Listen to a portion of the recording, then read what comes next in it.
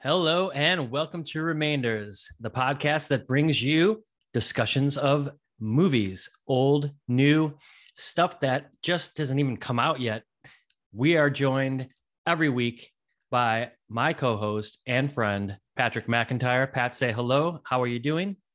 I am doing great. How are you today?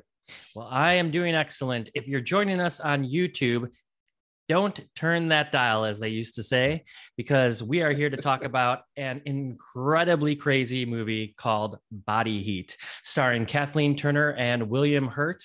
Um, basically, in the 80s, it was the modern version of Double Indemnity, which it was my first time seeing it this week. And I was surprised at how quickly I thought, man, is this Double Indemnity? Are we watching a remake of Double Indemnity? It is also the very first film by Lawrence Kasdan, who directed and wrote the film. And you might know Lawrence Kasdan from directing what movie, Pat? Big Chill. okay, but also did, I think most people, I think most people would know him from directing The Empire Strikes Back. Uh, wait a minute. I knew he wrote it. Wait a minute. Okay, so I'm having a we're I'm already... pretty sure he directed Lo- uh, Empire Strikes Back too. And like, please, if I get this wrong, I'm gonna feel like a total heel. I mean, I know he wrote. Uh, uh, um, oh, maybe he didn't direct it. What? Wait. So wait. Let's see. Did George Lucas direct Star Wars: Empire no. Strikes Back? Um, I, I mean, I may be completely off, but um, no, he didn't direct uh, Empire. He wrote it, so that's that's. I'm okay, I, he, he I got close. Raiders, yeah, you you got very close. He wrote Raiders of the Lost Ark and uh, wrote Empire Strikes Back. Uh, why is his name um, escaping me? I mean, we should be able to find this out right now. But here's the thing: this was his first directorial debut, and I looked at his filmography after checking out. You know, whoa! I, of course, you've heard the name Lawrence Kasdan, but when you check out his filmography and see all of the things that he's been involved in, it is pretty insane. Um, and he was also part of 2015 the, the force awakens as a writer which is yeah. uh, amazing i didn't know that and i love the force awakens um yeah, it was Irvin Kershner who directed uh, Irvin uh, Kershner, of yeah. course. How could I forget that? Who went on to direct uh, RoboCop two or three, which is I've never seen because they're not worth watching. what you've never seen it? How do you know they're not worth watching if you haven't seen them? Uh, because everybody who is a diehard Robo head, like I am, um, very few, if any, are fans of the second or third one. So. Amazing. Okay. Well, hey, everybody out there, I'm sorry. I, I fucked that up. Lawrence Kasdan did not direct it, but he did write a bunch of great movies, including Empire Strikes Back, but he did direct this one and wrote it, and it's Body Heat. So uh, this is a neo noir, but it's also, as they call them, erotic thrillers, which has actually been very big right now. Criterion has a whole list, and this is actually where I saw this film pop up in the erotic thriller kind of i guess they would what do you call that when they put them all together that's a uh they're curating these things these days yeah. so all of these films uh were on the criterion and i decided to watch it one day and i liked it I watched it about a week ago and I really liked it. And I just, you know, Pat and I were discussing what to talk about next. And I said, well, how about body heat? And he's like, I've seen bits and pieces. So now that you've seen the full film, what do you think? I mean, I absolutely loved it. So I'm very surprised. I thought this was a movie that you were all in on uh, for a long time. This is definitely way up your alley. Oh yeah. Uh, I was looking up for you to uh, kind of point out to all the. Uh, I mean, I knew it was basically a remake of Double Indemnity, but I'm sure there are other um, references to Hitchcock. Um, so yeah, I'm actually just learning right now. This is the first watch for you um because yeah this is definitely right up your uh, alley in terms of uh, all the hitchcock vibes and everything that you've been into. And i know you've been rocking that um, curation for the erotic 90s so. Yeah and like i said it's like a lot of podcasts are talking about like erotic 90s erotic 80s and it is an interesting you know list to curate because a lot of these like neo noirs and stuff like that they are like i guess what makes them even more sexy is that they're like got this element of like you know the double crossing or the person that you're attracted to and you have this like steamy romance with but then they're the ones who are ultimately your demise which is the case in this film which is also the case in double indemnity right and yeah. there's murder there's you know plots of uh, a lot of deceit going on relationships are a bitch, aren't they? Yeah, relationships are a bitch, and and this is 1981, so it's quite a while after. And I'm trying to think, you know, has there been mm, has there been this close of a remake to Double Indemnity since then? I don't think so. Plenty of homages. Uh, I'm thinking of uh, I don't know. I, I'm, I'm having images of plenty of um, movies that were like C and B level, like try to uh, knockoffs of Hitchcock, but I don't think anybody's uh, certainly not in the mainstream. Like um, this movie was pretty successful in '81, and um, to, to kind of go back to like what you were talking about, uh, how much of there's been like a focus on like erotic 80s and 90s. Um, I was really thinking, I mean, it's largely because movies are so sexless these days. Uh, there's just like there's very little nudity, there's very little sex in movies, and that's a uh, byproduct of like corporations kind of taking the heat of movies. Also, the availability of porn and how ubiquitous that is. It's like movies don't have to fill in that uh, gap for the average person who just wants to see naked people every once in a while anymore. When that was just kind of the standard back before uh, technology took that over. Gotcha. So you're I think what you're trying to say is a movie these days doesn't need to spend that much time going through and getting into the steamy parts of it because they can just look it up online anytime they want. And that's again, yeah. it's kind of like violence. Violence is like it's got to be done the right way now because like everybody's done it every single which way. You know, it's like almost yeah. these days what you don't show is the scariest thing, which is all back to the Hitchcock days. And, I've definitely, of, you know, yeah. I'm definitely talking mainstream. Like you, there's plenty of like fucked up movies uh, that you can find in the indie scenes and whatnot throughout world cinema, especially. But uh, mainstream U.S. films, like this was a this is what you would like body heat. If you went to the theater in '81, like this is like the feature that most people were going to be watching uh, on a Friday or Saturday night, and that's just non-existent anymore. Yeah, pretty amazing. So for all of you out there that are listening and want to know what this movie is about if you haven't seen Double Indemnity, this movie follows closely that storyline. It's somebody who's in a position of sort of not really doing amazing in life. Uh, the character of Ned, played by William Hurt, uh, rest in peace, by the way. And it's not like he's doing really terribly, but he's just kind of like uh, in this position where he just kind of like slinks along and is like get, getting by, doing what he's doing, and kind of average guy, you know, an average Joe. But he's he's a little hard boiled, just like uh, Walter Neff is in Double Indemnity. You know, he's got this kind of like little hard exterior, and he meets Matty, who's Kathleen Turner, who's married to someone who's very wealthy, and he doesn't really realize it, but she's playing him, and she has this ultimate goal um, to get rid of her husband, just like double indemnity. And so the story goes on where people are telling him to be careful. A lot of times, people are telling him to be careful, which doesn't happen much in double indemnity. You know, uh, you're as a viewer, you're very much with Walter Neff, and you kind of understand that like he's going down a road that he shouldn't go, but nobody else knows. In this film, nobody really knows, but they also know getting involved with her is trouble. And so uh, even the guy who is uh, played by Mickey Rourke, by the way, which I'm sure we'll talk about, he's the one who gives him the bomb and says like, "You probably shouldn't do this," but you know, here you go. So he gets entangled and of course it blows up in his face uh pardon the pun there because that's obviously how uh things um, unfold for the demise of kathleen turner's husband.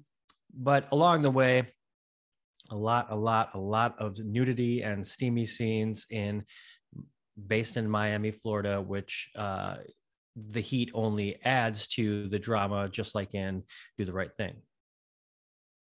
Oh it's a steamy movie all right not as much sex as I was actually expecting. Uh, like I said, like this is um, you know pretty common for the times. It was definitely a uh, a movie that was like seen as like this is uh, uh the one to go to see if you want to see a bunch of people naked. But like this seems pretty tame at the time. Um, William Hurt. So we could start on him. Uh, fucking amazing. I love William Hurt. Um, what would you say is like your go-to Hurt uh, performance? Oh man, it's so interesting. Um, he's not like one of my favorite actors, but of course I know him in so many things. Um, I really loved him, and he, I thought he played like an interesting character in The Village. I know that's probably not like one of his most famous roles, but nice. um, I actually yeah. did did love him in The Village. Um, I forgot about that one. And correct me if I'm wrong, but he's he's the guy from Dune as well, right? Uh, the original Dune. You know, I've never seen. I know, neither have I. That's why I'm saying I don't know. I'm trying to think about what his most like popular film has been.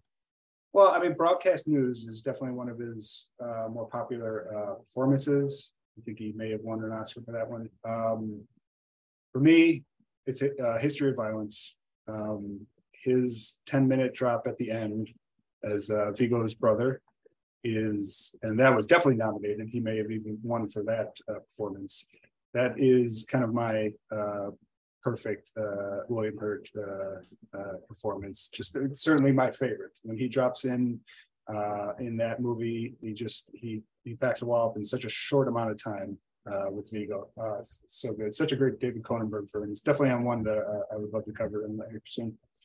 Cool. Yeah, I'm just looking at his filmography here, and um, there's a lot of um, looks like um, superhero movies. Uh, he was in the Hulk as well, which I didn't know. Um, but he, did he was in the he was in the Eric Bana Hulk, the, the pre Marvel. Oh, right, which right, which right. I, I which I love the Ang Lee one. Uh, Um, he died in in March of 2022 last year, yeah. um, and he's got one hell of a mustache in this film. Oh, it's okay, it's so great. So the mustache, so he is uh, a, a dope in this movie. Like he's not like an overt uh, dummy, but he's he he plays. I mean, they start the movie talking about like um, so his um, colleague played by Ted Danson, like just a year before um, Cheers. Cheers, premieres, yeah.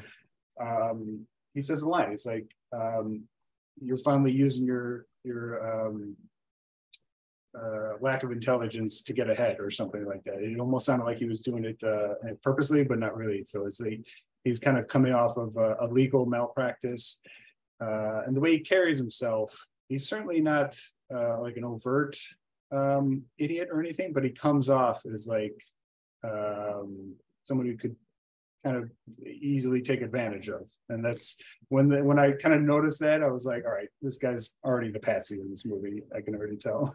Right, but there is like this hard boiled like Totally, component yeah. and and probably which is why like because he's so hard-headed is probably why he doesn't listen to any of the advice that he's getting Right. but you're but it's a kind of like Yeah. a, a perfect mix of that and he plays it really Exactly. well i think Oh, yeah so good. I mean, what's uh, there's the line um, that uh, Kathleen Turner Matty says, um, "You're too, you aren't too smart, are you?" I like that in a man. It's like when they're like courting, like at the bar. I think when they were saying that and first, kind of like having their tango. Um, it just like uh, perfectly captures um, his kind of solo um, vibe that he gives off. So yeah and he's got this really great scene where he has dinner with uh, the man that he ends up killing uh matty's Richard husband yeah and that scene i thought i thought william hurt was so good in um he Yeah. does play it like again because he's he can kind of play like the dummy that can you know totally get taken advantage of by kathleen turner but when he's at that dinner he's i feel like he's really playing her husband really well and that's um a credit to william hurt's acting for sure Yeah, I mean, so you do believe so Kathleen Turner is like such a good uh uh gives such a good performance in this. And it, was- it- it- halfway through it kind of blew my mind because I rewatched um uh Who Framed Roger Rabbit a couple of weeks ago. And this, so this is basically uh the uh the movie that she did the performance from. It's like it- she almost like duplicated uh this performance in Body Heat for Jessica Rabbit in Who Framed Roger Rabbit wow it's it's like to a T. It's like playing the same character, same kind of voice, same kind of vibe that she's doing. Obviously through a, ca- a cartoon character Roger Rabbit, but um, halfway through, I was like, God damn, this is exactly why she was hired as Jessica Rabbit uh, for that movie. You know, and the other thing about her is she's got such a great career. I mean, um, I think my favorite film of hers has got to be Serial Mom. I mean, I'm sure you love that too. John Waters at his like peak best. Um, one of his That's definitely on our list to watch. Oh yeah. um, But what I was going to say really quick, um, Yeah, go ahead. She's so like alluring that like that's why I feel like his character uh, Ned is is genuine in that scene that you were in that dinner scene that you were talking about. Like he is, he's not necessarily smart, but he's being led by lust in that scene, and he's going to take what uh, uh, it needs to be done to like trick his husband into thinking that everything's cool. Yeah, it's kind of like that amazing scene where like uh, he kind of plays it a little bit like this, where that scene in Royal Tenenbaums where Richie Tenenbaum is on the the roof and he's like finds out, you know, that uh something what was it she she um Gwyneth Paltrow was cheated on or, or what happened? He's like, what should we do? Should we get him? and then he punches his hand through the window. Oh, right, it's right, so right. like Yeah, an yeah. understated like jealousy and rage inside the character. But like the other characters don't know that like they care so much about this other person. I feel like that's got a little bit of that in that scene where he's at the table because he's just like he's he's being on his best game because he knows he wants to be with her. so good. Richard Crenna, which I really haven't seen him in anything other than like Ram the Rambo movies and Hot Shots Part Deux, which he plays the same exact character in that one. So it was actually awesome to see him because he was a uh, character actor for many years before the Rambo movies. Just not really a lot, a lot of TV and a lot of like TV movies. It seems like so. It's pretty awesome to see him like in this kind of noir style movie uh, outside of like a Sylvester Stallone action movie. Yeah, for sure. And that's the thing is like when, when you get into like these 80s kind of um decade movies, you see some of those like reoccurring character actors come back like him. And it it it, it, it feels nice. It's like, oh, awesome, you know. Um I really love that. And I also love like these days if like there's like a really old version of them that like somebody like obviously was a fan of this like, you know, unknown kind of character actor that you just saw pop up in every film and then they put him in like a newer film and like there's just some people in the audience that are like that guy i love that guy you know Oh, but go, going back to kathleen turner a little bit like that deep voice of hers so perfect for a noir movie. And also like there's something about her in these early films where she's get i think this was her um, one of her first films if not the first film where she kind of like blew onto the scene. And yeah I, she's not she's a different kind of beauty you know? She's not like this um she's got some danger in her i guess is the point. And it is alluring you know what i mean it's like this is something i shouldn't be a part of but it just draws you in more and more and she's perfect for that um did you ever see the romancing the stone films I saw Romancing the Stone. I almost saw it again at the Music Box not that long ago when they did this Zemeckis um, uh, series. oh that's Um, right that's zemeckis Yeah. Yeah, that's the thing about again, that's why they did Zemeckis, because he's been like so in- ubiquitous and like in the helm of like so many big movies uh, for 40 years. Um, but his name is not always like the first thing you attach to those movies. Um, it's been so long uh, since I've seen it. I saw it in like high school, maybe even middle school. Um, I can like feel it right now, um, having like the taped versions off of the television and like Yeah, the right. VHSs. Oh, man, we we I used to watch those all the time, and it's been a while too since I've seen them. But there was like Jewel of the Nile, Romancing the Stone. I don't know if it was a trilogy or not. Maybe just two films. But anyway, she was freaking awesome in those, and so was uh, Michael Douglas. And like such a weird like he's like an adventurer guy, you know yeah. um and i really really loved her from those and of course like i said uh serial mom but seeing her in this i had like a I, uh, I don't know. We talked about this, I guess, a couple episodes ago when you we were talking about body double, and you were mistaking it for this title. So maybe that's like the thing is, this kind of gets like lost in the mix of all these things because it's got body heat, body double, and when I saw the name, I think I was just like, oh, I, I got to see this. I remember you you mentioning that you had seen a little bit of it, and I'm so glad I did because like Kathleen Turner, I had kind of forgotten a little bit about what she's been doing and what she's been up to and how much I really loved her as an actress. And now that I've seen this, I'm like even more like, damn, I got to check out more movies she's been in. Yeah, no, this, so this is her first movie, uh, first film. She's on a TV series before that, but uh, this is her first one. And yeah, she's got that husky kind of voice. Very, I mean, super sexy. She's hot as hell in this movie. Um, I was wondering, like, so she's like full on naked on some parts, but they do have some close ups. So I was wondering if they were using like stunt butts, uh, which was not an unheard of thing uh, Right. for a long time. So Yeah. uh, wondering if that was going on for both of them, actually. Um, yeah, no, she, I mean, it makes sense. Um, like I said, using Zemeckis, using her for, um, Rabbit because like she just embodies this role like so perfectly, and she is like, like I said, I even I could even tell that he was being set up, but not necessarily directly by her.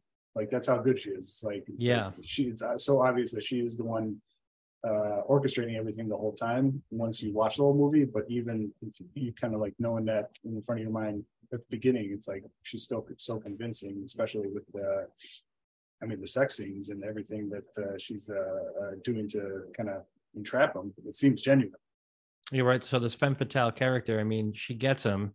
He is drawn in and he's all in on killing her husband, which she does, but he says, let's not be greedy. We can get away with this if we do it the right way. But then he gets to the um will, the, the reading of the will, and there's Yeah. that great scene where the guy's like, one of the lawyers is like, Does anybody mind if I if I smoke? And everybody in the room lights up because everybody it's like the tension is so, so thick.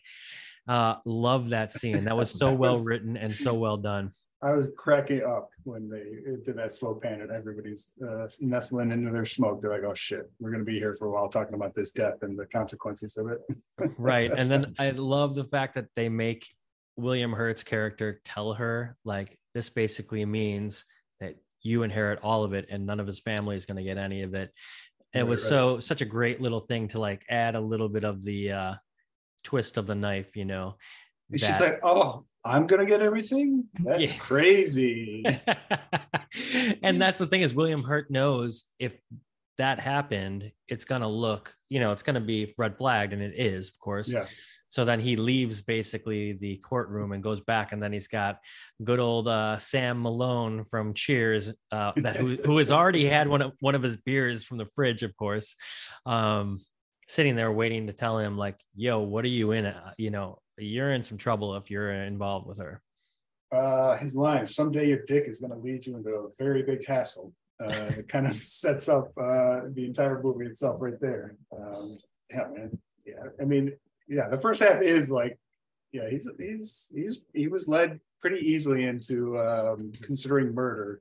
Uh, just for this woman that he happens to be banging at the time. So yeah it's pretty crazy and i will tell you that uh, by that point you know as an audience member you're you still don't really i mean you pretty much figure that he is like you know in trouble but you're not sure they're going to get caught you're not, not sure how it's going to play out it's it's it's actually the end half of the film is pretty does a pretty well good job of keeping you on the edge of your seat i'd say. Yeah yeah totally. Like i like i said like i felt pretty early on that he was uh gonna get um the blame for something uh but it definitely went in a lot of different directions uh than i uh, uh was not expecting so.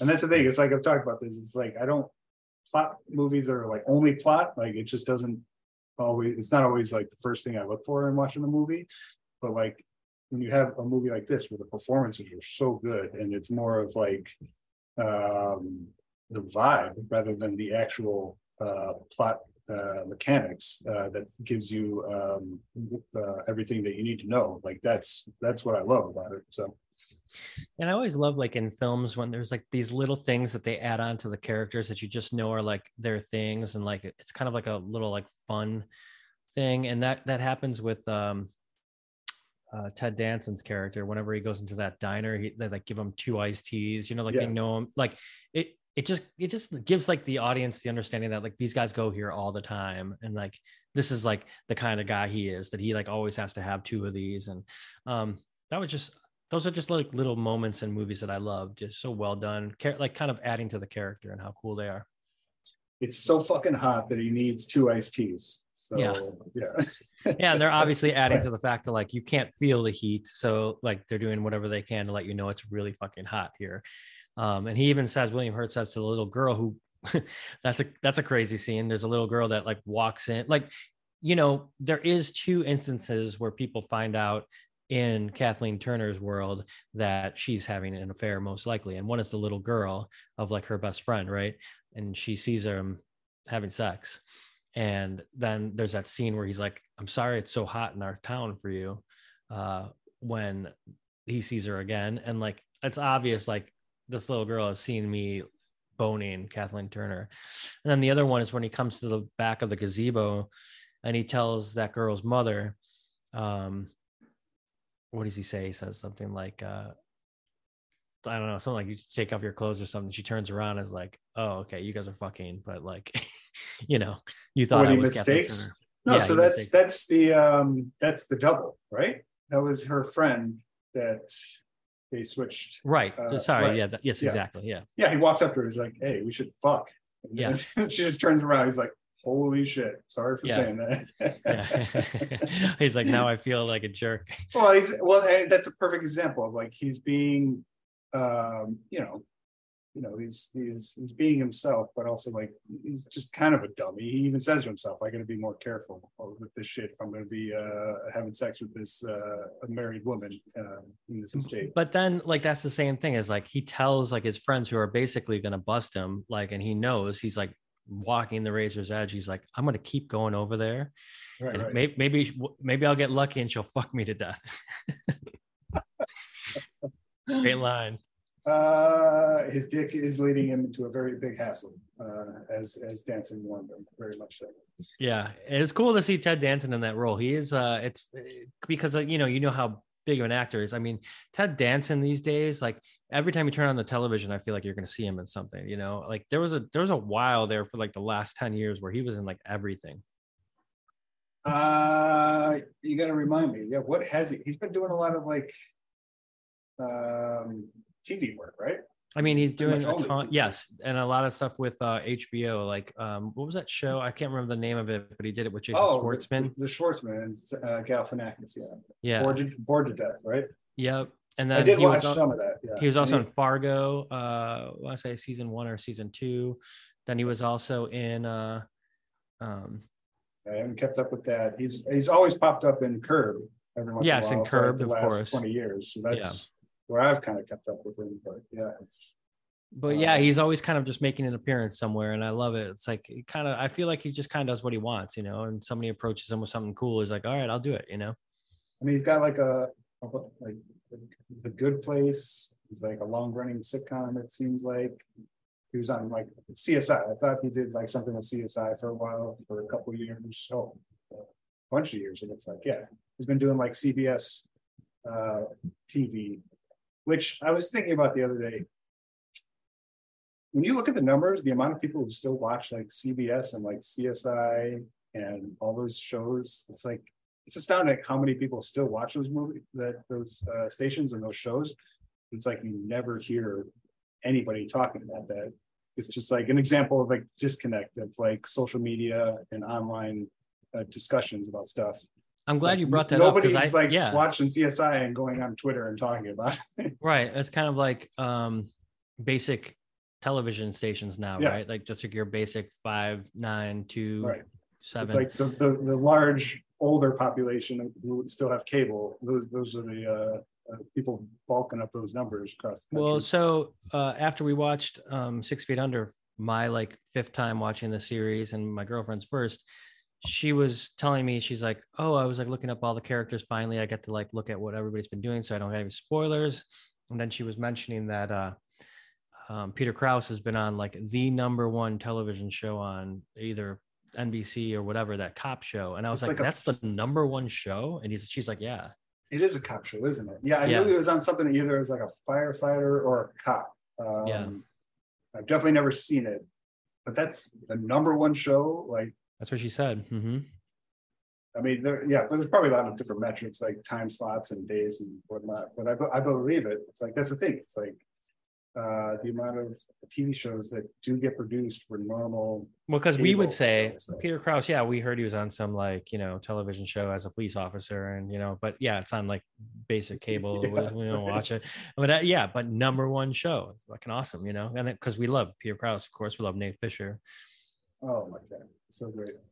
So back Uh, to Body Heat. I mean, you so you're you're a fan. You like this film, I loved it. I had such a great time watching it, and it was because like I was so in on it instantly because I was familiar with it, and and like I said, like I um familiar with uh.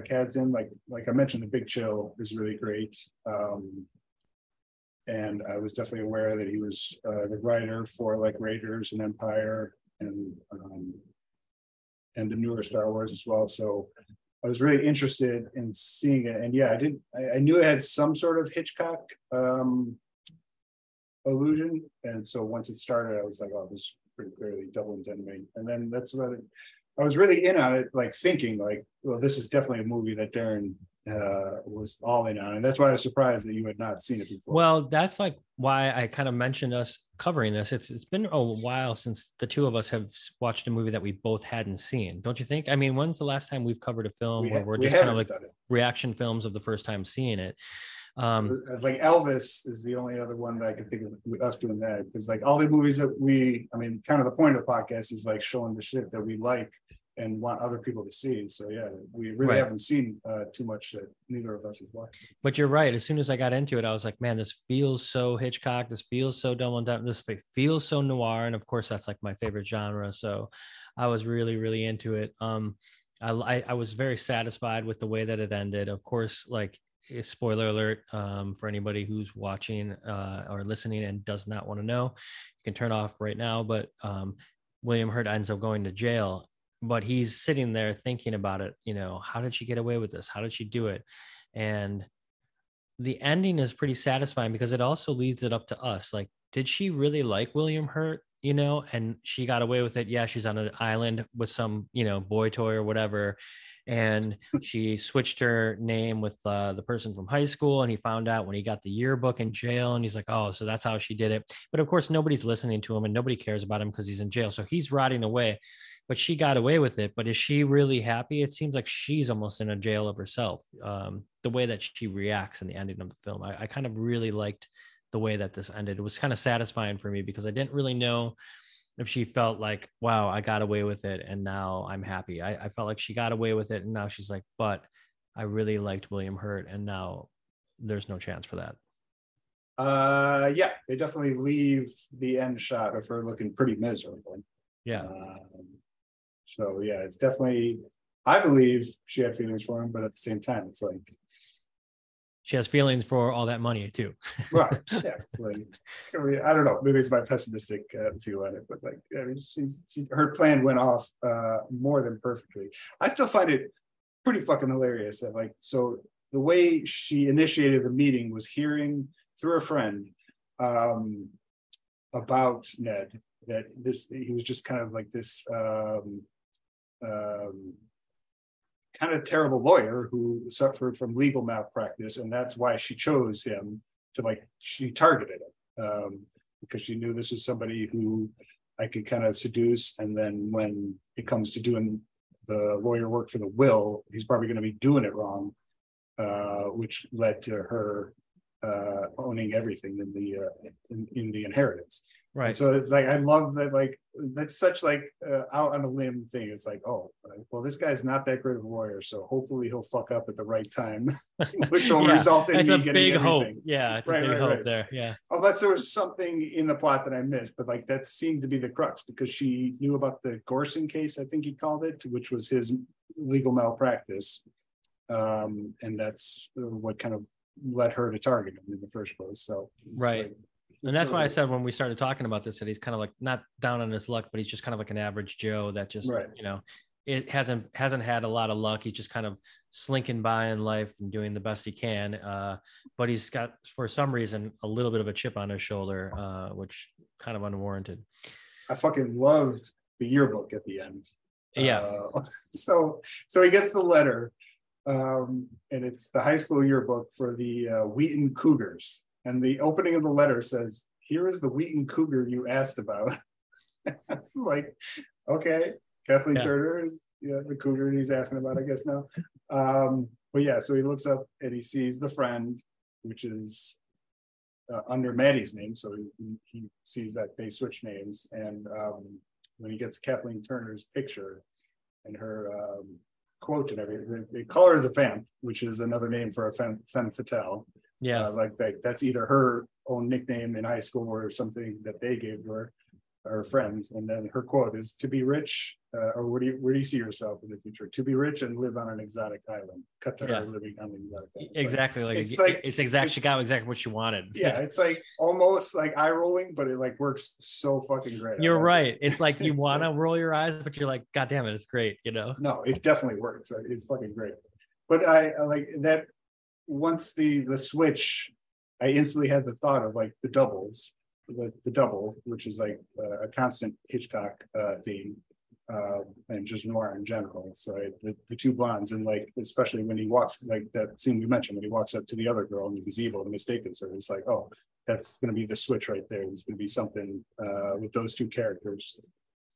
Yeah, really well done. Um, and yeah, I'm sorry I boned that Lawrence Kasdan uh, directed Star Wars, but he directed this film, and I thought the direction was actually done really well. There's I like kind of like that end scene where it is on her, and then it kind of like pans up, and then you see like the credits roll. I don't know. Back in the 80s, I think that was kind of like nobody was really doing stuff like that, you know? I mean, the best directed scene, uh, or at least one of my favorite scenes, is like that first uh, when they first uh, meet at her house when they're um, when he finally breaks through the the window to like, and then they start to fuck for the first time. That was It's like- great. Just like the whole scene of leading up to it. So he goes, they they go back to her house together. She kicks him out. Um, he stands at his car, just looking at the house. He walks back in, and she's just standing there, like in the middle of her own house, just looking out the window. And he's going I from know. like window to window, like like a like a fucking like tiger, like about to attack her. And then he decides to just break the fucking window with uh, a chair. And I I was dying laughing. It was so I know it's like a, a little like unnecessary drama there, but I guess what they're trying to do is like she's playing with him so that like I'm Yeah. so, I'm gonna Oh, make totally. him want it so bad that he can't like fucking help himself and he's got to break through the fucking door or break the window and yeah, Yeah. it's hilarious. He breaks the fucking window. What's- and goes in. it's- he's just inside like a second Yeah. ago. it's so great. It's like she kicks him out, um, and and and she, what is like, was I forget what he says, but like uh, she kisses him, and he's like, "Oh, I'm just weak," and then closes the door on him. It's like, oh, that- that's a perfect setup. Totally. Yeah, really. And he's got a by the way, a kick-ass car too. Uh it's like some kind of like red convertible. It's like adds so much to this like neo-noir feel. That's the thing. He's got this kick-ass car, kick-ass mustache. I mean, he fucking it looks awesome in this movie.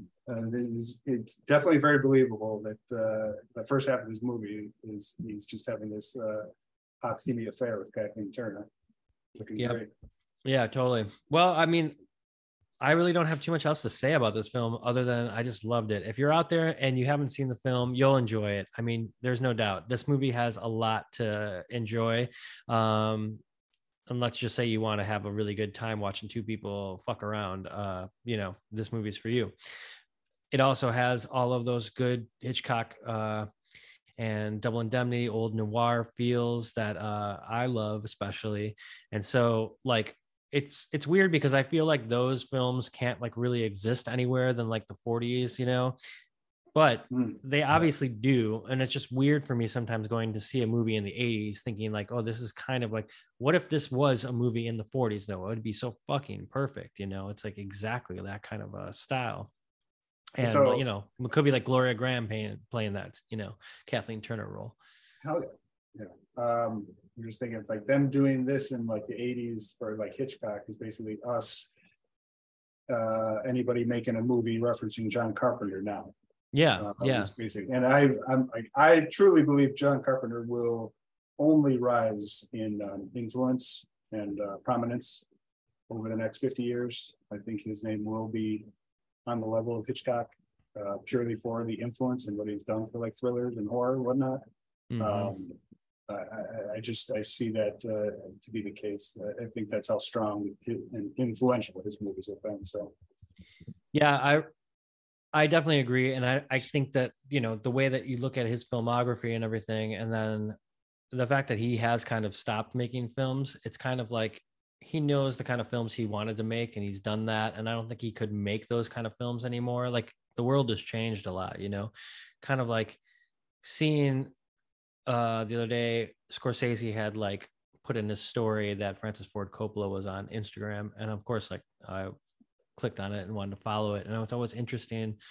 His like first post was just a picture of him as an as like an you know older man and he's like to be elder it was like a post about being elderly and what's great about being elderly is that you can tell stories like your grandpa did or, you know like through the family and because he's got a new film coming out so i'm sure that's why they're doing it um but like i don't know i what would john carpenter what would john carpenter film be like now you know would it have impact i don't know I mean, it really doesn't matter. It's, it's, it's his heyday in the 80s and early 90s. Uh, I mean, he's on record. Like he's he doesn't even want to make a movie. Like he just doesn't like the um, uh, process of filmmaking anymore. He's he's he's a perfect old man grump these days, and he's but he still is like fully dedicated to like fans and everybody uh, that uh, uh, love his movies. So he's like still engaged. He just doesn't want the hassle of being on a set directing a movie anymore. So yeah totally which which is like there's something endearing. It's like yeah, I'm not going to do a good job, so I'm just not going to do it. So i mean i guess that's kind of what tarantino's been saying you know with this next movie coming up Um, yeah, kind Tarantino is more of the. I think the, he's seeing it as like a history. Like I, I, he's he believes in himself. I, I think if he if he wanted to make more movies, he would be like, yeah, I'm going to make great fucking movies. But I think he's just more of looking at it from Legacy. like a 50 year lens. Like, what are people? What is my legacy going to be in 50 years? I think oh he's his- acutely aware of that for Yeah, sure he's Um, i think that's his driving um i saw some uh pushback uh on him like a lot of people like accusing him of like like cowering uh as an artist because he, he's not gonna make any more movies or something. And it's just like is like such a horrible take like because they were like claiming like oh he just doesn't want to be uh he doesn't want to risk making a bad movie. It's like his entire career has been one risk after another. His entire like everything he's done has been a risk. And just because he doesn't want to actually make movies anymore he's going to be making art in all other mediums uh like writing and stage and whatnot so uh right you don't just like stop being an artist maybe you just stop using that medium which is Exactly, filmmaking yeah. to tell your stories and uh you're right it's risk after risk and that's why his films are so fucking great. I watched uh once upon a time in hollywood uh two days ago three days ago. Oh yeah. You know for like the 20th time come on I mean, there's there's a kind of a contrarian. There's a lot of people who do not like Tarantino, which is fine, but like they push back on him.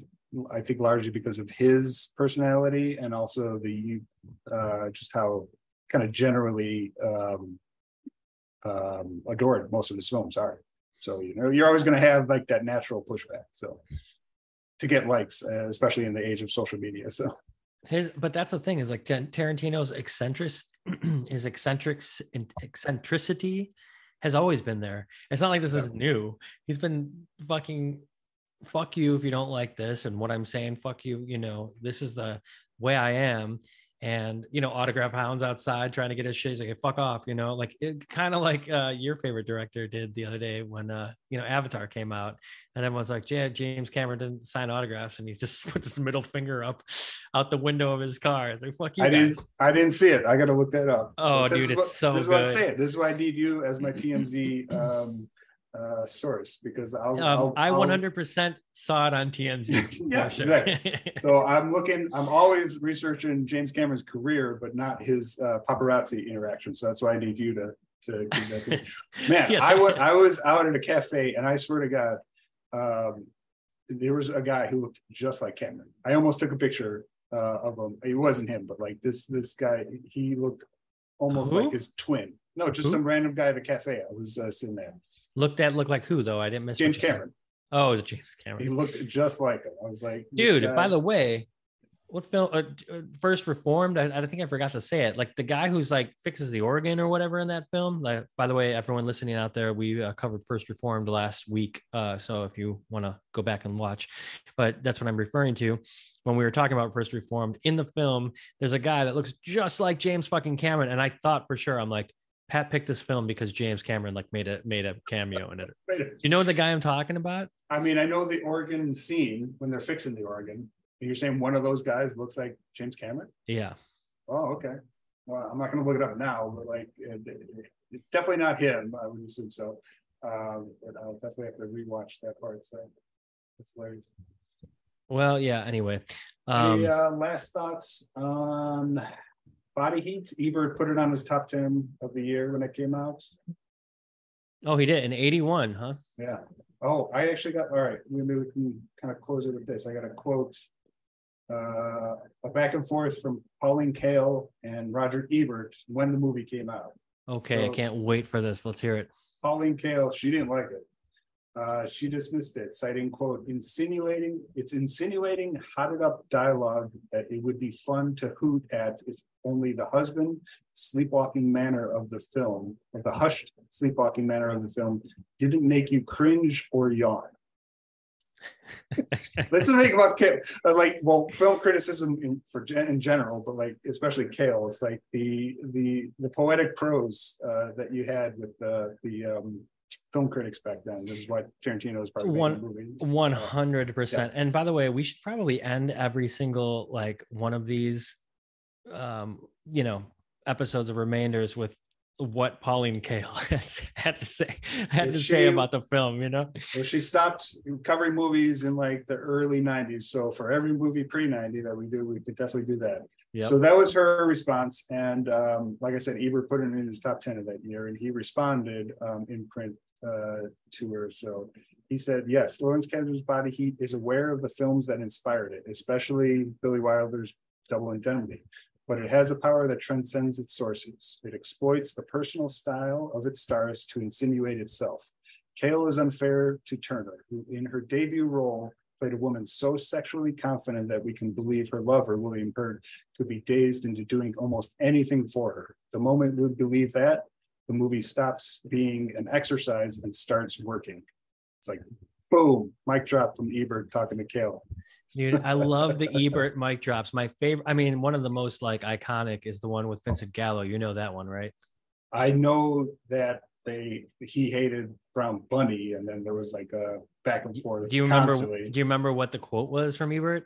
Uh, I do. He said something about Gallo said something about his weight, and then he, was something about like, yeah, I'll still be fat, and you'll still have always made a terrible. No, he movie." said- Yeah, yeah, tell me. basically. But he said That was it.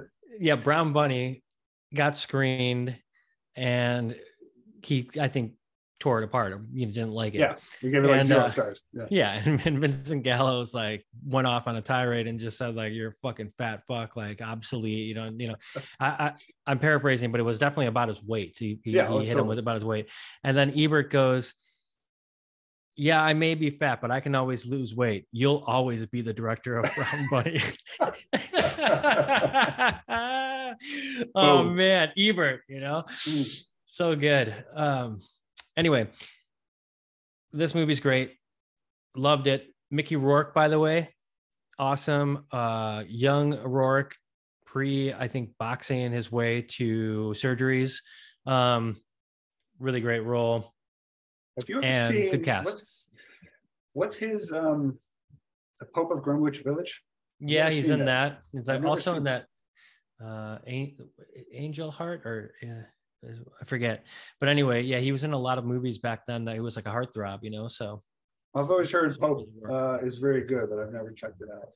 uh, I- actually, to be honest with you, I don't think I've seen it either. Um, Okay. I know the name, of course, but yeah, because I should watch more because the, the wrestler is is it's certainly my favorite movie so good. um from um, the, the director is escaping me right now but that's uh my favorite movie of his Darren Aronofsky. Aronofsky um yeah that's definitely way up there because that's that, I've I've watched and rewatched that movie so many times like I was saying last week with like kind of um First Reformed like that type of character study is just like that's like what I I fucking I'm so um attracted to. Like I just I, I, that's the that's the type of vibe that I just really get on board with in film in general, among Yeah. other things. But like those are just the the ones that I can watch and rewatch over and over. Randy the Ram. After I watched uh, The Whale, um, which was excellent. It's like basically the same Haven't thing. seen. Oh, okay. Sorry. Yeah. But yeah, I you need to you need to fucking Yeah. see it. It's great. Um, it's a lot like the wrestler in that way. So I think you'll enjoy it. But um, the wrestler, after we watched the whale, my girlfriend had never seen it, and she just she just loved it. I mean, she loved it. And Oh. uh Darren Aronofsky, like those two films fucking rule. Everything else to me, I don't know. I like Black Swan. Um, I yeah. remember back in the day you being ambivalent about him. Yeah, Um, uh, yeah, it was like that was definitely Suncoast days. He was making like Pi and Requiem for a Dream. Those those are the the films that you know we we we were around in the movie store talking about. I mean, I could see, yeah, I could see being ambivalent about that. But, uh, I think it's fucking great. Like even his like crazy movies nobody like like Mother. I had like such a great time watching that movie. It was Dude, so really? off the wall. Oh yeah, uh, I, it was great. I don't think I'm gonna watch it again, but Hard uh, disagree there. I- like I said, I don't think I'm gonna watch it again, but uh, I definitely enjoyed the experience of it. It was a one timer, but um, I definitely liked what he was going for. There, Yeah, so. especially when, when the baby gets tossed around at the end, right? Yeah, I'm sure that was like the your favorite part. I mean, that, that's fucking hard to watch, Ah, dude. that's right. Yeah. Hard Yeah. to watch. That's the shit Um, I, I'm here for. Yeah, Bonkers. it is bonkers for sure. Well, anyway, Body Heat, great film. Uh, thanks for watching it with me, the first time watch. And everybody out there, let us know what you think in the comments here. We're on YouTube usually, where you can see us visually, and then we're also on uh, every podcast host that you could possibly have for free. All you got to do is check it out. And if you're looking for a place and you don't know where to go, go to remainderspod.com and you can find everything there. You've got all the social media. I've been kind of amping up our social media a little bit. I don't know if you've noticed uh, with Looking the great. trip to the Hollywood Museum the other day. Oh, you looked like I was so jealous. It looked like such an awesome time. Uh, there were so many good exhibits that I'm sure you were just like, "Fuck yeah!" Well, the one thing I didn't send you because I didn't want to go crazy, but like even Marianne said when we were there, she's like, "Do not fucking take photos this whole time." Like I couldn't help myself, you know. She's like, she's like, but don't send Pat like every single photo that you have in your thing. And so then I had the idea. I'm like, well, I'll make a reel about it so you can kind of see it. But the one photo I didn't send you was they had this like amazing photo of Leslie Nielsen as you know vampire, and I was like, oh, why didn't I send Pat this instead of the Jason Goes to Hell uh, mask? uh, yeah, both would have been totally excited. I'm glad. I'm happy you opted for the final Friday one, which is a, which is a great Friday, uh, the 13th movie, and um, yeah, that looked pretty awesome. But uh, I mean, Yeah. every one of them would have been applicable. That uh, Back to the Future uh, one looked pretty awesome.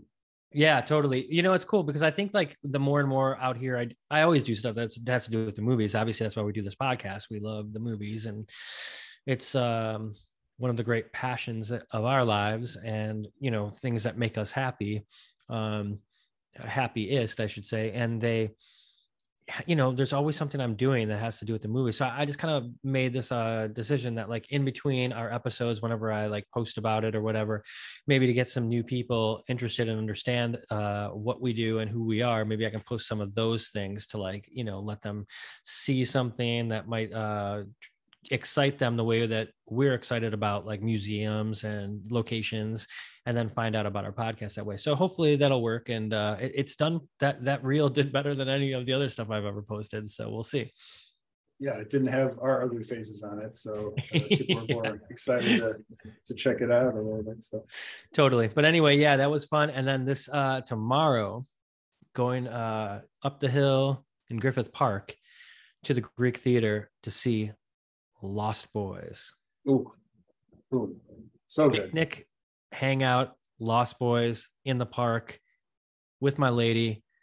I mean can't fucking beat it dude. I mean really. I saw that maybe 10 years ago at a screening that uh, Corey Feldman uh, appeared for. So I think it was at what's that dine what's that dining uh, theater in the burbs oh uh, hollywood boulevard or Yeah. you know, yeah I yeah. saw it there with Corey Feldman uh, premiering it. So I saw Back to the Future there with Christopher Lloyd, Ooh, Emma, Emma, uh, uh, what's uh, is it Emma Thompson who played uh, Lea, Lea. Lea Thompson? Yeah. I'm sorry. Yeah. Uh, both of them were there. Uh, no Michael J. Fox, but they were raising money for Michael J. Fox's thing. By the way, did we talk about the Michael J. Fox documentary yet? Uh, yeah, we mentioned uh, we both watched it last week. Sharing That's our right. thoughts on it and how great it was and how how illuminating it was on his life and and and the grind that is his life, but how he still managed to keep his voice alive. Uh, you're right. Now I remember we talked pretty in depth about it, and yes, uh, excellent. Uh, I would, you know, if you happen to have the Apple um, streaming service, check it out because I think it's only on Apple right now, or I guess in the select theaters. Right, you saw it at the Cisco. Yeah, I did. I'm having a. I'm, I'm just my memory's just going really quick. Uh, just flashbacks to that theater. I got to look for it. I have a picture uh, that I had signed. I saw to uh, went to a Reservoir Dog screening um, at Hollywood Boulevard, and Michael Madsen. Michael Madsen and Carradine were both there, and I had something signed from Oh. both of them before Carradine's death, obviously. And um, I have not seen that piece uh, for years, so I should probably do some uh, searching through whatever uh, few uh, boxes I have. uh, Similarly, so. uh, there was a stand up that w- went with a DVD at Suncoast when Back to the Future came out. I think the trilogy actually came out at the same time, or it's like you could buy all three. And the I still have the DVD. Obviously, I always talk about it in my brother's attic, but um, there was a stand up, and I got to usually you get to take those things home, or just trash them at the end. Um, Oh, well, we fought over those. I uh, know I have Indiana Jones still. Yeah, like I have an. Indiana Jones cut out. Yes, we fought over those for sure. Yeah. Probably dumpster dived half of them because you weren't allowed to take them out sometimes.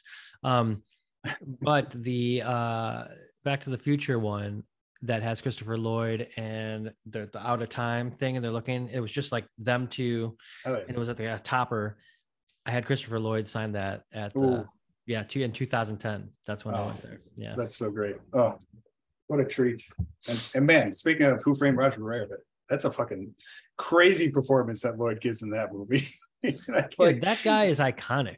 yeah, but it, it was like, it was so dark. Like, I, it was one of those examples like 80s movies uh, for kids. Like, they did not give a fuck, uh, like, what nightmares they were going to be inducing in children watching. Because some of those scenes, it's like you don't see anything like that that would uh, be uh, uh, pushed for uh, as like Dude, kids film. little monsters and shit like that, Yeah. you know, like stuff that's like specifically geared for kids, like scary as shit, you know. Re- Return to Oz is always, I think, one of the quintessential where it's like that's pure nightmare fodder, and it was like just one hundred percent produced for kids. And dude, even like never ending story, it's like, Yeah. dude, fucking horse, you know Oh. what the the most heartbreaking scene. Uh, Yeah. losing uh, a, Atreyu.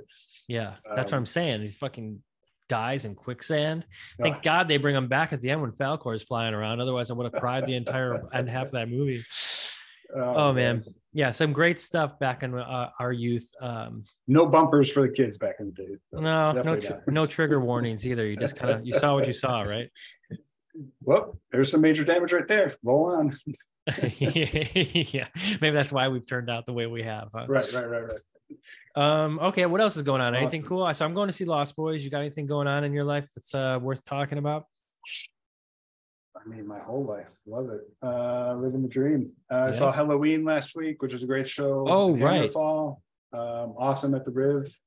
Um, the only thing that kind of really was a bummer is the amount of fucking phones that are just at shows these days. I mean, it was kind of an older crowd, but like there were some parts in the show where it's like half the people are like have their phone up, like videotaping. Like um, You know what happens to all of those? It's either like okay, maybe somebody like legitimately is like an influencer and like you know uses that or something, but half of those, more than half of those, go nowhere. People forget that they're, they're there, but they just want to like capture the moment instead. You know, it just goes in their phone to the like the weird ether. But yeah, I, I picture most people kind of recording it, be like, oh, I want to remember this, but it's like it's so insane to like just kind of take an overview of like a crowd and just the amount of people who are watching the show through their phone. It's uh, it, it's not only I mean it's a little distracting, uh, like yeah, to anybody like- else who's just trying to watch. Yeah, but then it's also like I don't know how, how much you're actually engaged with the show itself uh, with that. So I don't know. There's one time uh, I tell the story really quickly, and then we can get on to uh, some other stuff. But um, I played a show in um, the UK. Uh, gosh, uh, oh, uh, the name escapes me of the town that we're in or the city or whatever. But um, there's like nine people there, right? You know, not many people we're the opening band and we're playing and as i'm playing the whole thing there's a guy like straight up on me like right in the front. He's and you know this was like just the stage was like maybe this big, so there's like not a lot of like room. I'm not like uh, on a pedestal. I'm like basically at eye level almost with this uh, folks in the crowd, and he's literally like this close to me, but he's on his phone. And I, I, I, dude, I am rocking my shit, like playing, you know, doing what I do. Uh, and if you haven't like, seen Darren in live, live uh, I attest that he he's rocks his shit. So. Yeah, yeah. Thank God you're here to like yeah, people know that I do sometimes. But yeah, so going going a little crazy and doing my thing, and he's on his phone and he's looking at it and not looking up, and like right in front of me. So I'm like looking, I don't see his face at all. He's buried in his phone. Yeah. And at one point at the end of the song, I said, What's going on? Anything cool going on there or whatever? And he was so embarrassed. I was like, What do you think? No one's gonna notice you? You're right up against me here. Like, no yeah. one's gonna know. Like, I don't know. Well, I'm so, you said there were only like a handful of people in the in the whole yeah. venue. Yeah, and, I mean, not he, nine. I might have been like thirty people, but it was like you know lighter than most shows that we've played. You know, like so if there's that if there's that many people, the the, the dudes, anybody sitting like standing right up front are pretty like see visible to everybody in the whole venue. Well, right? what I kind of figured is that like you know uh, we were playing with a band called Medina Lake that was the headliner, and I have a feeling that that guy was just trying to get a spot, you know, and he didn't know right. who the hell okay. KLB that line bitch was. so he's probably just like waiting there for the band to play, but like he's on his phone. I'm like, right, dude, right. it's fucking rude as hell. Like here yeah, I am yeah. trying to entertain you. And uh, you know, you don't even gonna give us a chance. I get it if we suck, but you know, shit. Maybe we did suck. I don't know. I can't. I can't. No, it sounds like you handled that perfectly. You just if you can uh, publicly uh, shame somebody just in a little uh, a way, it's usually the best tactic. So. Yeah, I never, I didn't knock the phone down or anything, so I just did that. But uh, all right, well, hey, so before we get into the song pick of the week, do you mind if I do a little self plugging? I mean, uh, of course. I mean, that's what I try to it? do all the time. So, um, I mean, I usually point out which fantastic new painting you got each week, and this Elmo one, I'm a huge fan of. Oh, thanks, dude. Okay, so yeah, there's like a triptych series that I've done. So I mentioned last week that I got into this great gallery called La Luz de Jesus. And oh my God, I finally got to post that and talk about it. And I'm so pumped to drop off the art. And it is a big deal. This is a fucking big deal for me. I worked really hard and it's a big uh, gallery. I'm pumped about it.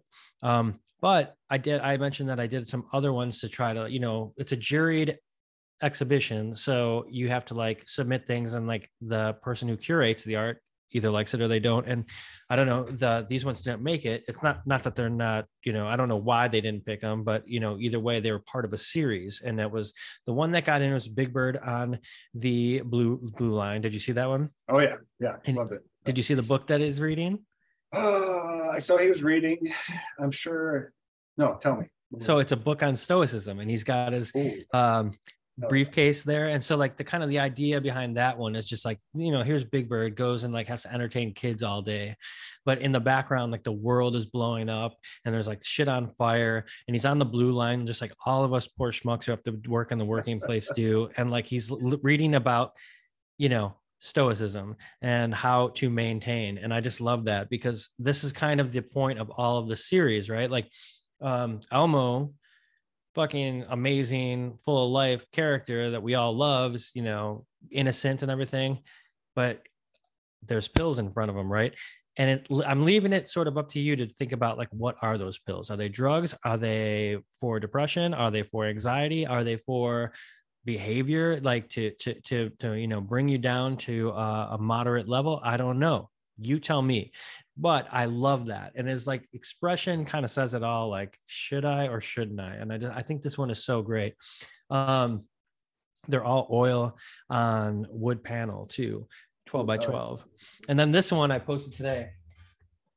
Uh, man i really like i really love this one too. And this is just like Oh, the, you know, Miss Piggy. Yeah. I, I sometimes, sometimes life is this way. You know, she's so uh, into fucking Kermit the Frog, right? So into him, but when she finally gets him, this is what her life becomes. I just love that shit. Like what, like you know, what happens when it's not all rose colored glasses, you know?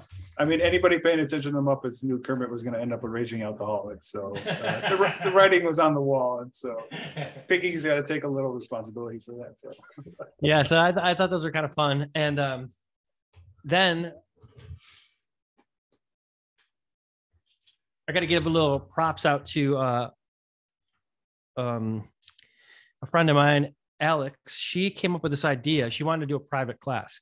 And so, anybody out there, if you're interested, I teach private classes, uh, art classes. You can get those through my website.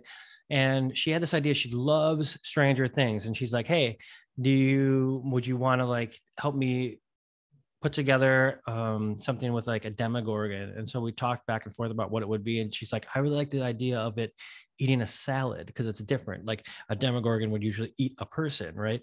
And I was like, that's cool. I like that, you know? So this one I just finished uh, the other night and it's pretty detailed. Oh, yeah. Oh, is that, you said demogorgon? Is that a specific character from Stranger Things? I still haven't seen Yep. It. Yep. This yeah. is a, and there's a little thing in the, in the salad that she likes too. It's a, uh, like oh, they yeah. become demo could, dogs or whatever. Um, I definitely see the the Carpenter influence in that character design for sure. I mean, right? To, it's like yeah. a flower or something. It's weird. Um, but anyway, so that's my little plug for that. And then, oh yeah, you've been busy this week, man. Oh my god, you have no idea. Okay, so um, but I love it. I fucking love it. I do yeah. art every day, man. I fucking love it. And so uh on top of all that, this is the one that I'm excited for the most. This came in the mail today, and I'm going to make sure that I post it on our social media. Oh, man. So Look if you're not beauty. watching right now, you guys, this is the official Remainders coffee mug. And it says Remainders, a Darren Vorel and Patrick McIntyre podcast. What a delicious treat that is awesome right out. oh that's that's so beautiful such a great design by the way like i mean this uh, design darren came up with and captures it so perfectly what do you got yeah so when we first started, was that a fake sip or was that real um, what's that what do you have in there? Coffee? No, this is just, just, water. Yeah, okay, there'll be some wine in there tonight. But um, the the main thing about the design, um, just because you mentioned it, I remember when I first did it, we were doing books uh movies and then what was the third one? Oh, oh music right? And so that was what the three colors represent on our logo. Um uh, yeah. there oh, yeah. yeah there were always going to be when we when we would have an episode about movies it would be blue or you know the different colors. And so i i kind of that's why it incorporates all of that. And i still think that that makes sense. I know we just talk mainly about the movies uh now but we still talk about literature and we still talk about uh, music. So i think it it all makes sense in there. And I, I do i like the you know, I kind of like the logo and how that came out. And I like that I added now a Darren Vorel and Patrick McIntyre podcast. You know, I had to put my name first there. So I mean, I wouldn't expect anything less from you. So no, no, man, it's fucking great to be on some swag with you for this uh for this endeavor. I love it. Okay, and one last thing, if you don't mind, and this is uh more um self-deprecating. No, not self-deprecating, but self-indulgent. Uh, so nice. I got this white Vorel hat in today. And so yeah, look at that baby. This is uh I I have these in I went I got one that's red with a black um black uh embroidered Vorel logo and then I have one that's all black hat with a yellow Ooh. embroidered Vorel. Um they're all on my website.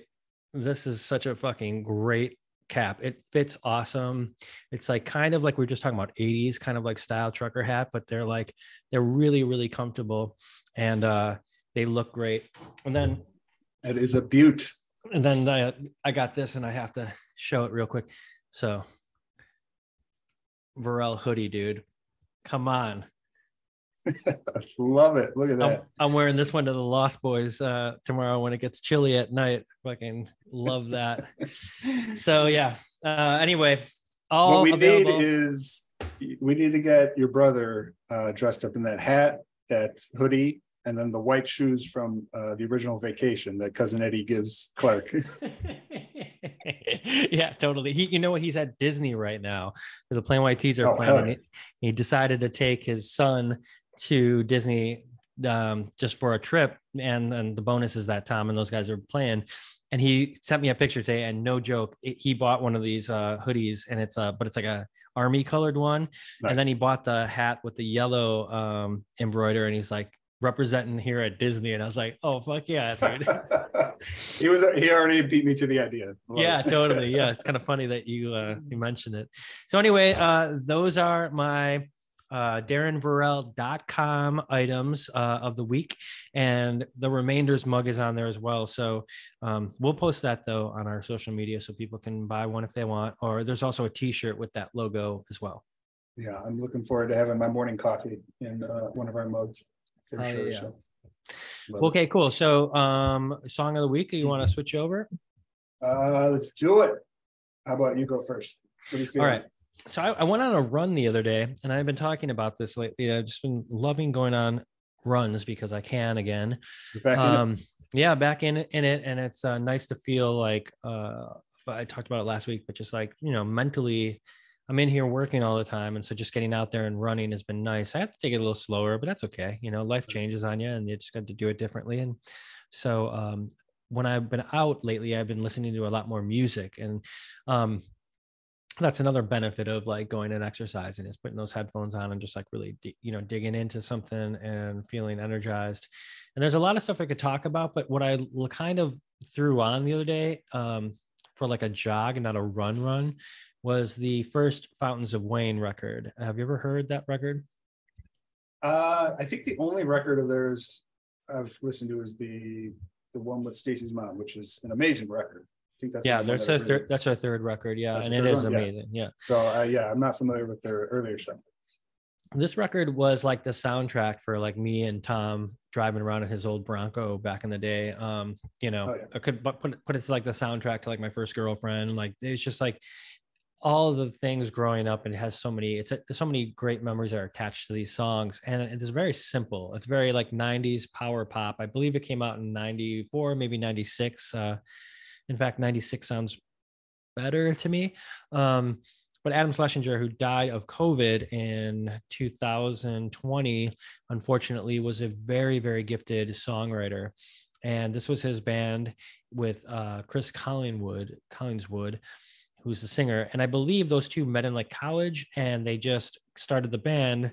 And in this record, uh, was them two, and then they kind of like got a band together after that. But it's a major label debut. Um, they had a song called Radiation Vibe from it, which was their single back in the day. But the song I want to, there's a lot of great songs on here. And, and, and a lot of their songs are kind of like every man, like um, sort of like I'm stuck left in my own hometown where everybody else is moving on outside of me, or like this is what our parents go out and do when us kids stay home and play. Um, very simple life stuff. Um, sometimes tongue in cheek, a lot of times tongue in cheek lyrics and stuff like that. But there's this like, you know, Adam Schlesinger is pretty famous for writing the song "That Thing You Do" for the movie, uh, and so this is his band. And the second song on this record is called "Sink to the Bottom," and it's literally one of my favorite songs of all time. And it came on during a jog the other day, and I just it kind of stopped me in my tracks, and I was just like, "Wow, this song is so good."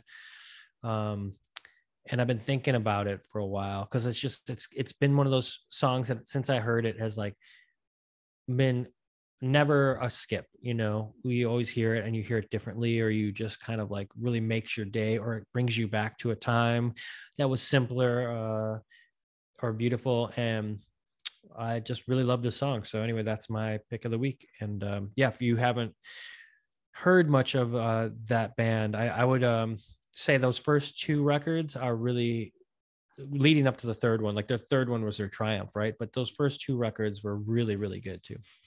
Oh yeah. Um yeah, no, I mean I'll definitely listen to it. Like I said, yeah, they're welcome Welcome Interstate Managers is their 2003 album. With, uh, that's the one with Stacy's Mom. I'm just thinking of the, the Mexican wine, the opener on that album. Yeah, great. That's, that's such a great song. That whole album's great. So yeah, I should definitely listen to their previous ones. Um, definitely got traction. I mean, they were the earlier ones are popular on Spotify compared to their other ones as well. Um, but yeah, so you're blowing my mind kind of. I kind of totally maybe knew that. So Adam Schles, how do you say his last name? Schlesinger. I'm gonna let you just say that. Um, I feel like I kind of knew that he wrote that thing you do from the Tom Hanks movie, but uh, I totally forgot about that because I fucking love that movie. Like I, I watched Oh, yeah. the shit out of that movie when I was a kid.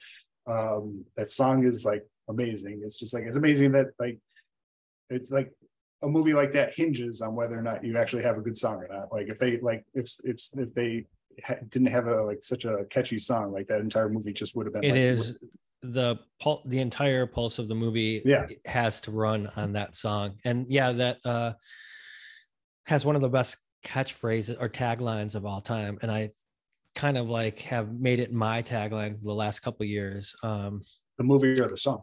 the movie. The movie. So my girlfriend has the poster in her um, apartment, which is another reason why I knew that she fucking ruled when I met her because she had that and the, the that and the Vertigo poster in her place, and I was like, uh, "This is this is the girl for me." But um, the tagline of that movie is um, sooner or later, um, that dream you dream becomes that thing you do. Boom! Talk about a mic drop of a tagline. Yeah. Perfect. It's perfect. So anyway, uh, yeah, that he feel like wrote that that- song. that movie doesn't get enough love. I feel like I feel like there's like nostalgia for it, but I mean, it certainly wasn't like you know held up as like a any masterpiece. I mean, it's got a huge fan base for the people that love it. I, I mean, yeah, it's not like you know known as the greatest film of all time, but the people who love it really, really love it. You know? yeah, yeah. so good. Um, early, um, oh, not his name's forgetting me. Steve Zahn, Steve Zahn. Yeah, he's so good. he's so good in White Lotus, dude. Uh, which I've been meaning to watch. Yeah, I have not checked that one out. Everybody, There's everybody. I know you're not one. like huge on the TV stuff sometimes. Not that you're against it, I'm but not. a lot of those things they kind they do play out like movies. You know what I mean? Oh, so well, I mean, all the best, not the best, but like the writing has just soared in quality, obviously in TV over the Right. last 20 years. That's like the biggest trend of it. I guess So that's timely to talk about right now, huh? there is, oh, yeah, totally. It's like that's, I mean, that's it's become so much more popular um in the conversation, but um yeah, it really is just a um mindset. Like if I'm gonna put myself in front of a screen, I'm just more trained to watch a movie, I guess. Yeah. I don't know. Yeah, like I, I should be watching uh some of the uh, better stuff. Like I, I'm I'm about to binge the last season of Succession, yeah, and um I did. I mean, some of the TV that I do keep up with is um the new I think you should leave season, which I fucking highly recommend. Some of the best uh sketch comedy of the last uh, 20 or 30 years. It's my so girlfriend loves that. Yeah, Oh, Tim Robinson is a fucking treasure. And those, I mean, the, the slow burn of those skits, uh, we'll be watching them for years, I think. Um, but yeah, I mean, I should check it out. White Lotus. Yeah, and- it's kind of like one of those things for me too. Like sometimes at the end of the night, I don't want to like put a movie on because I know that I want to really like get into it. And like if I'm tired or whatever, like that's when the TV comes in at the end of the night. I've like worked all day, you know, whatever I'm Yeah. doing here. And so those like always kind of like end up getting my attention a ton. But I go into it thinking like, well, I don't have to pay as much attention if, as if I put on body heat, for example. right, right. I mean, yeah, I totally get that. Like I stop, I split movies up all the time. Like I don't do it on intentionally or anything. I'll watch a whole movie. I'll try to finish it in one sitting, but like I have no problem with just watching half a movie one night and then finishing it the next night or whatever. Sure. So, Yeah. Um, so I don't know. I don't know.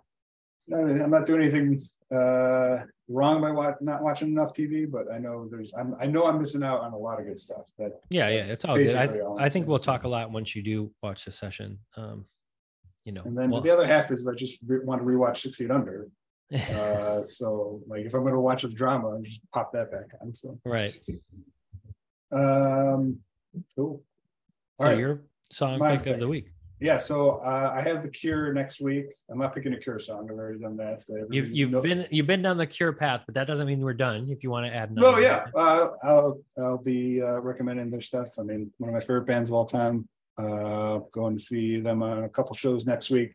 So I've just been re-listening to them. Um, so not a lot of new stuff, but so one of my picks is a um, instrumental uh, from a band that I really love. So like half the music I actually listen to is like instrumental. It's like usually what I put on um, sometimes more passively if I'm like writing or just working um, at the desk or whatnot. I usually have, I'm not usually putting on anything with like lyrics or anything. And I love like classical music. I love modern classical, post rock.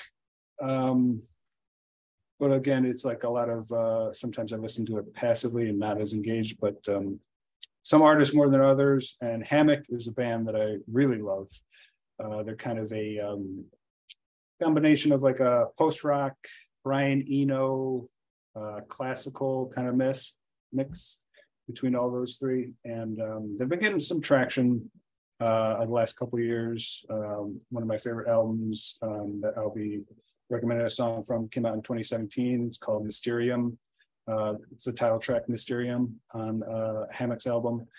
Uh, it's just got a perfect vibe of like kind of what I listen to um, in the background when I'm not listening to like anything like fast like the Ramones or whatnot. So, um, so yeah, this is a song.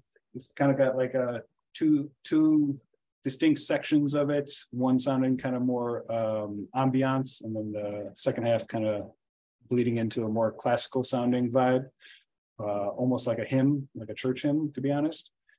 And uh, yeah, it's just a band that I've always loved uh, since I started making music, and one that I it's kind of like a default um, band and uh, genre that I put on if I'm not listening to anything like actively. So cool. Uh, yeah, is it? Uh, I've never heard of the band for Hammock. That's the name. Hammock is the name. Hammock, yeah. They've done actually a couple movie scores. Uh, they did a movie score for um, this movie called Columbus, which I really liked, which actually okay. has the actress from White Lotus. Um, Not uh, Stifler's mom. No, it's the younger actress. She's kind of like a Southern Americana. Oh, um, which season of what? Haley Lu Richardson. Oh, okay, yeah, yeah, yeah. So Columbus, uh, pretty good movie. I saw it at the Gene Siskel uh, with John Cho from um, Harold and Kumar and her. It's a pretty great um, character study. Parker Posey's in it. But anyway, they've done a, a has done a couple uh, scores, and I know they did that one. And so yeah, they just kind of gotten around uh, subtly over the last like ten years, and just a band I've vibe with. And like I said, like it's easy to kind of overlook the amount of like modern classical that I really love because uh, it kind of got often gets uh, thrown in the same pot. And and I mean, I have like an ear that enjoys it, but like I certainly can't differentiate. I've never been able to differentiate like types of classical musicians or like who does like what piece and whatnot. So it often kind of gets uh, thrown in the same uh, playlist together without uh, a lot of uh, um, separating the artists and whatnot.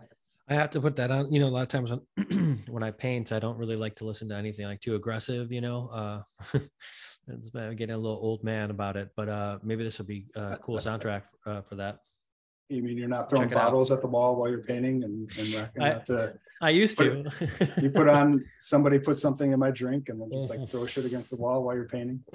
Yeah, exactly. I mean, the, all Dee like songs time. all day long. I just put on oh. anything that Dee's love kills, whatever. Yeah.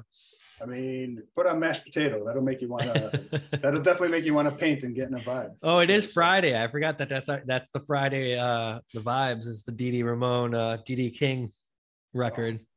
Dee Dee King, mashed potato time. Ahead just, of its time, man.